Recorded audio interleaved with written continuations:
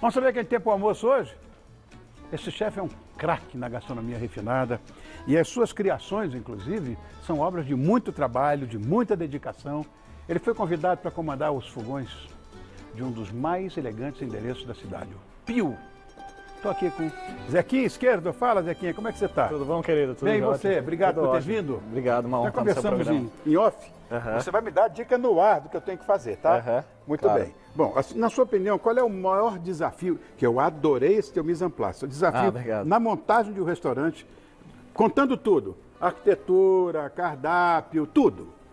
Ah, eu acho que o mais, o mais difícil, assim, pra mim, pelo menos, é a equipe, né? Você alinhar com, com todo mundo, como que você gosta de trabalhar, o seu jeito de trabalhar, é você treinar uma equipe para que seja sempre constante. Eu acho que esse é o maior desafio pra mim, assim. Você Zé, quem eu adoro comer, você sabe É. disso. Gosto de cozinhar, não cozinho bem, mas eu gosto muito de comer. Talvez até mais do que cozinhar. Então, isso faz com que a gente tenha sempre amizade com os restaurantes. Aham. Só para corroborar o que você está me dizendo, o grande problema de todo restauranteiro hoje é o RH. É, é difícil, é difícil. É complicado isso. O cara, ah, não, vou fazer. vai- Olha a equipe, olha. Isso que você falou, que eu acho fundamental. E é isso mesmo. Bom, eu sei que você levou, sei lá, quanto tempo preparando esse prato de hoje. Você vai dizer o que, que é.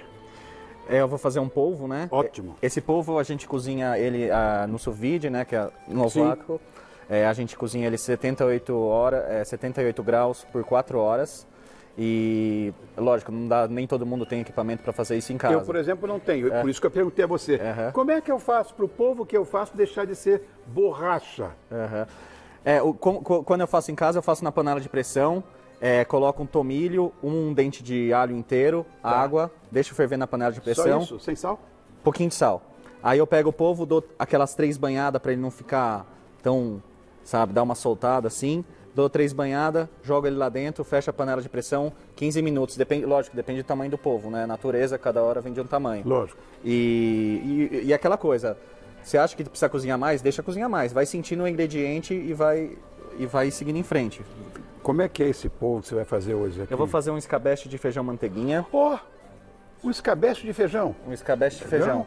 É um feijão que, que, que é uma preparação que tem um pouco, o caldo um pouquinho mais ácido, né? Para contrastar com o polvo também, para dar uma, uma leveza, uma salivada. Alho poró, braseado. Cozinhei ele no vapor. Vou dar uma seladinha agora para vocês. E purê de azeitona siciliana. Oh, pirê de azeitona, que maravilha. É. Contieta, você sabe o que que é escabeche? Ah, muito Não, ó, não vai, não vai. Mas ele é bonito. Não, mas não vai. Ah, mas é um Oh, chefe. que chegou- lindo. Você está relaxado? Tô, tô. Está se sentindo bem? Tô, tô. Ó, o Éder, o nosso sonoplasta, botou isso. O solo é meu. O solo é meu. É lindo, eu me sinto relaxada, eu me Ah, que sinto bom. bem. Que bom. Mas olha, ela não, pode ver ô, um chefe aqui que ela já se oferece. Não estou me oferecendo, eu estou aqui perguntando do escabeche. Não? Você não falou até agora que você está disponível Eu para gostei ele. que você pegou aqui hoje. Aqui foi. é, o Rony Salva. tem uma energia, gente. Assim, acho que ele tem, acho que ele tem mão, mão abençoada, mão santa, porque quando você pega, Tá vendo aí, ó? Mas vamos falar do escabeche, né? não sair fora, fora do, do, do, do, contexto. do Então, contexto, tá? Escabeche. Escabeche. E eu queria que você falasse para nós Aham. o que é o escabeche. Porque eu dei uma estudadinha também, Aham. né? E aqui a gente vai trocar umas figurinhas Aham. agora. É, o escabeche é uma preparação típica de Andaluz. É, é uma, é um caldo ácido. Geralmente o pessoal faz com peixe ou com algumas carnes. Tá. E era é, antigamente o pessoal fazia por- pela técnica de conservação, porque o vinagre ele mantém os alimentos e naquela época não tinha geladeira, não tinha essas coisas que tem, essas facilidades que tem hoje. Então o escabeche é, é qualquer preparação que tenha um caldo é, ácido e que, ser, que sirva para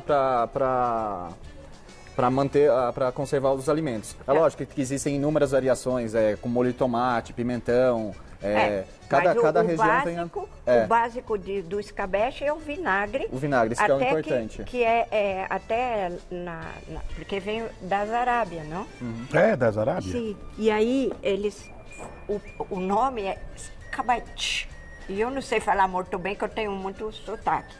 Mas é conserva em vinagre. Não? Tá. E, tudo, e aí virou moda, porque não tinha geladeira, né, chefe? E aí, nas grandes viagens, dos cobrimentos do Brasil, nas Índias, tudo, tudo ia no escabeche, tudo ia no vinagre, porque ele tinha que comer, né? Não podia morrer. É lógico. E aí punha os peixes no, no escabeche. Aham. Né? E a gente faz com, com o feijão manteiguinha.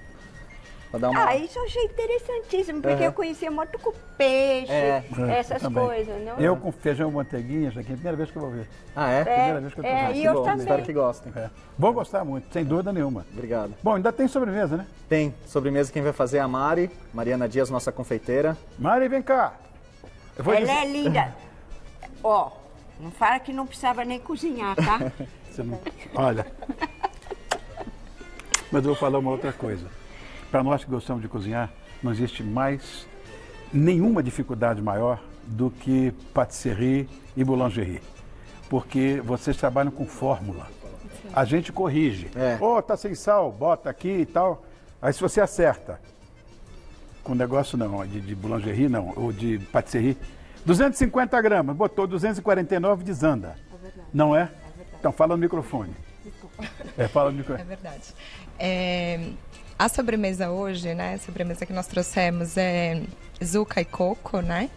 Opa. E tá só. Aquele doce de é, abóbora, aquele ali? isso. Zuca é abóbora. É, Tem que finalizar é ainda. que tem que finalizar, ela ainda não Tá, tá Como assim? finalizada. Vai No Falta forno? o sorvete. No sorvete? Ah, É, tá. que eu preciso colocar. Pensei que já ia meter E um é- maçarico, alguma coisa ali.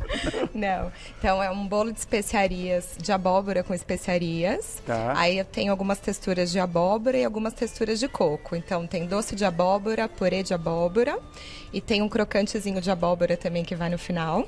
E aí de coco, é um purê de coco, o sorvete de coco. Então é abóbora e coco. Só para dizer uma coisa para você. Você é insuportável. Muito obrigada. E linda. E linda, e linda. A Concheta me segurou, porque eu disse, não precisava, não precisava nem ser chefe parceiro. O doma dela tem, tem babadinho, não é? Olha que fofo. Viu como ela fala direitinho? O Dalma. Por que, que as pessoas falam a Dalma? Eu não sei. Não é? Eu aprendi com você. O diretor está falando de novo, não, que eu falo isso toda hora. Eu tenho que corrigir. Não se eu falo errado. Bom, Zequinha Esquerdo assina a cozinha do restaurante Pio, que fica no shopping Guatemi, aqui em São Paulo, na Avenida Brigadeiro Faria Lima, 2232. Piso 3. Isso. Telefone. É o telefone do restaurante, eu estou falando para você. Não, eu acho que ó, já eu sei. 3198-7649. 3198-7649. Resolvido?